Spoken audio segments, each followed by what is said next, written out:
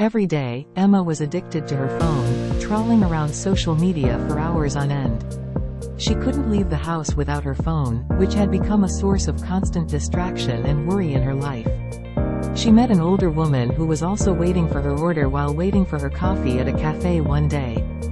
The old woman began to converse with Emma, and as they chatted, Emma saw how pleased and at ease the woman seemed with herself. She questioned the woman how she could be so tranquil and cheerful. And she was told, my dear, I live in the present moment. Emma was piqued, and the woman began to impart her knowledge. She encouraged Emma to put her phone down and pay attention to the world around her, to enjoy nature's beauty, and to relish every minute of life.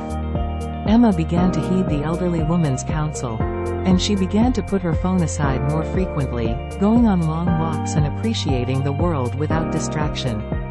Emma noted that as she became more present and conscious, she felt more serene and pleased than ever before.